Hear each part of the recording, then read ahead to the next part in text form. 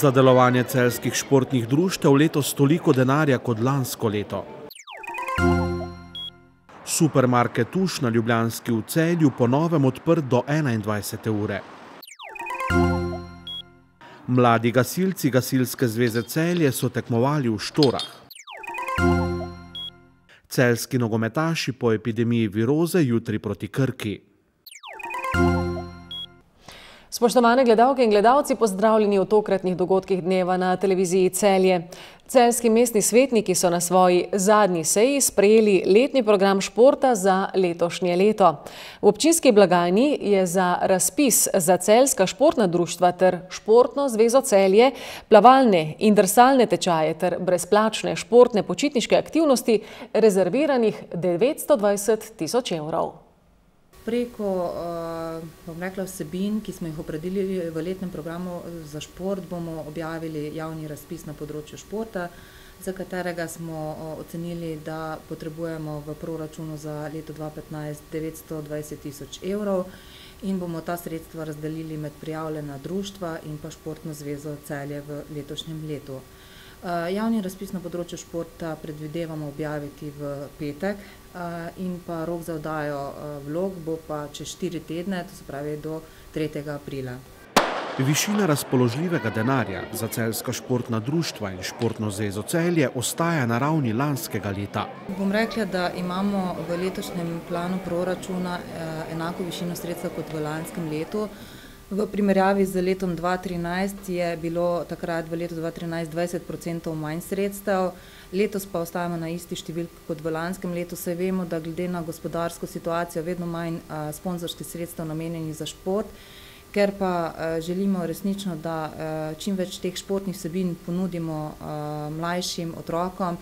In tudi, bom rekla, triinšestdeset procentov tega vsega denarja iz lanskega leta je bilo namenjeno prav predvsem za interesno vadbo in pa športne šole za predšolske, šolske otroke in pa mladino. Tako da, bom rekla, ostajamo na istem nivoju kot v lanskem letu. In kakšna so pravila glede prijave na razpis in delitve razpoložljivega proračunskega denarja? Osnovni kriterij je, da so športna društva, ki delujejo na celjskem področju in da so ustanovljena vsaj tri leta, drugače ostali kriteriji pa so razvidni iz pravilnika. V skladu z neko tradicijo preteklih let pričakujemo okoli tam do sedemdeset vlog.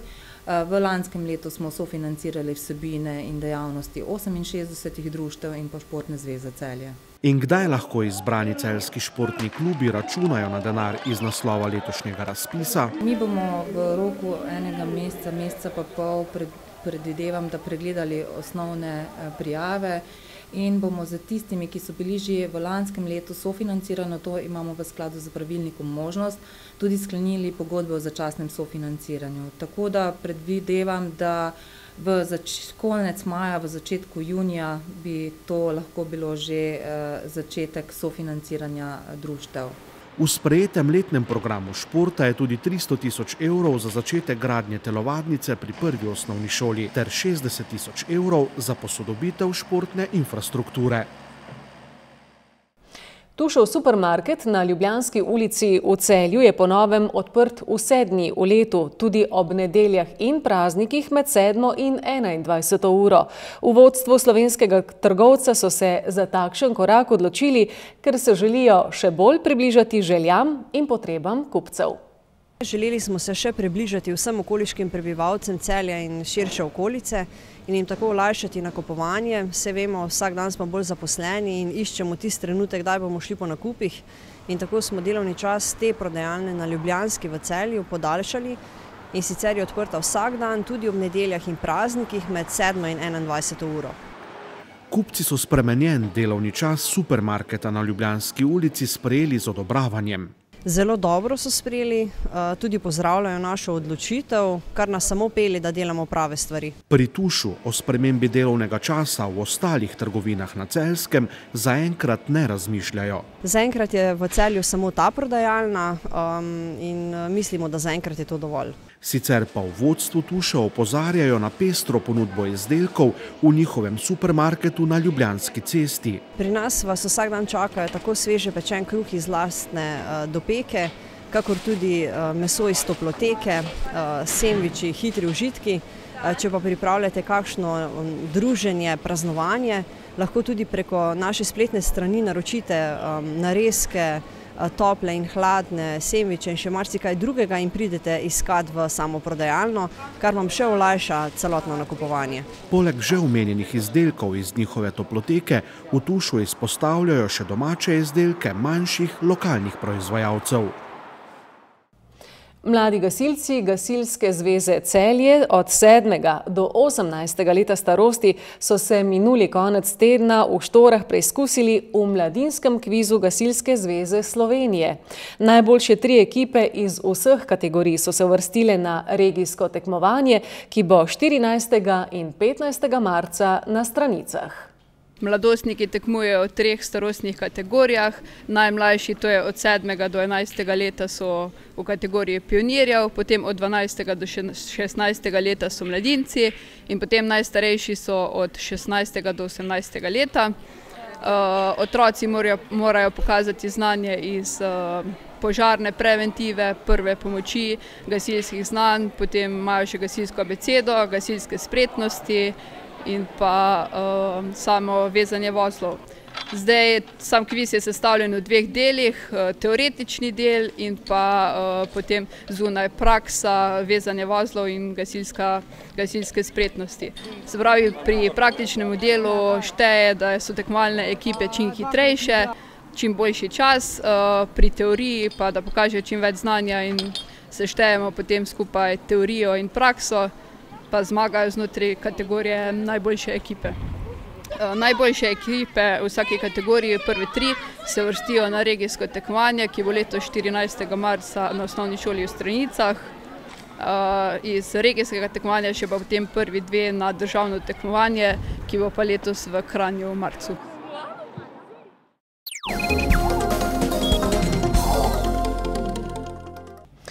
Zaradi virusne okužbe osmih nogometašev in celotnega strokovnega štaba je bila uvodna tekma spomladanskega dela državnega nogometnega prvenstva med Koprom in Celjem prestavljena na 11. marec. Celjani bodo tako drugi del sezone začeli jutri, ko bo v areni Petrol gostovala Novomeška Krka. Zaradi epidemije viroze je Nogometna zveza Slovenije prisluhnila prošnji celjanov in predstavila srečanje v Kopru. Povejte, sve se je zgodilo zelo hitro, pravzaprav hitro tako iznačilno za respiratorne infekcije, za influenco, za gripo pa i za viroze. Ne. V glavnem, do četrtka smo skoro bili vsi zdravi, imeli smo še sastanek, imeli smo še podelitev naših oblek za naše igralce, bili smo vsi dobre volje. V petek Popodne me je že klical trener, da ima visoko temperaturo, pomočnik trenera, fizioterapeut. Jaz sem se že takrat bal, da se bo mogoče res razvila kakšna epidemija, ampak sem mislil mogoče, ko so te tri bolj skupaj, da bo ostalo samo na tem nivoju. Ampak v petek zvečer je pozačel telefon zvoniti, da so drugi igravci imeli iste težave z visoko temperaturo, z bolečinami v mišicah, s kašljami in tako naprej, tako da sem predvideval, da bo šlo za epidemijo z obzirom, da gre za en zaprt kolektiv, za tesen stik in je absolutno pričakovati z obzirom na procent kontagioznosti take neviroze, da bo skoraj bi rekel 50% igralcev zbolelo. Danes je stanje v celski slačilnici že bistveno boljše kot v petek. Viroza je nekatere nogometaše zelo izčrpala, zato bo jutrišnji obračun z Novomeško Krko v areni Petrol za celsko moštvo izjemno zahteven.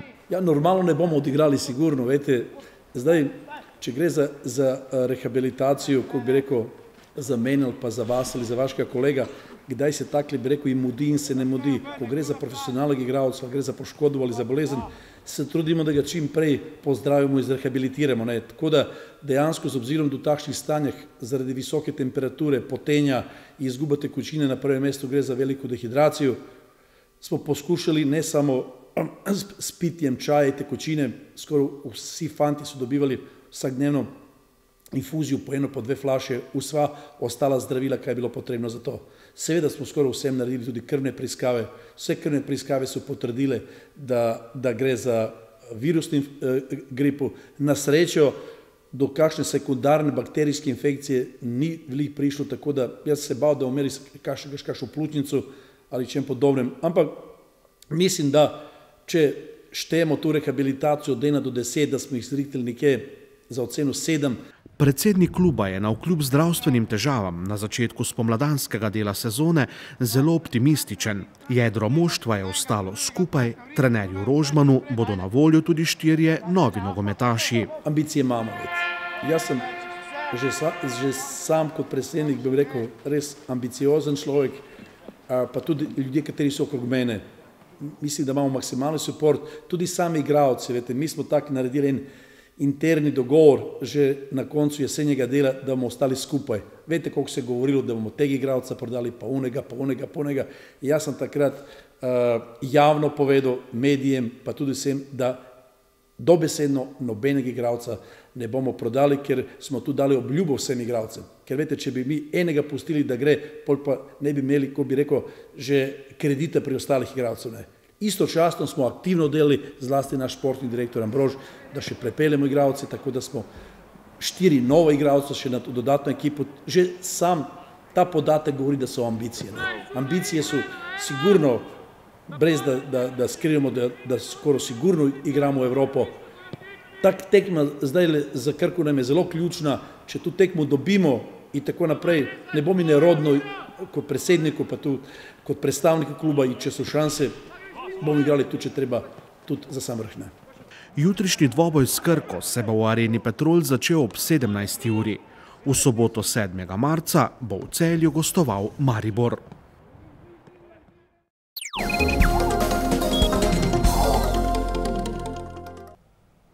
Jutri se bo po oblačilom, sredi dneva in popovdne bodo rahle krajevne padavine, ki se bodo zvečer nekoliko ukrepile.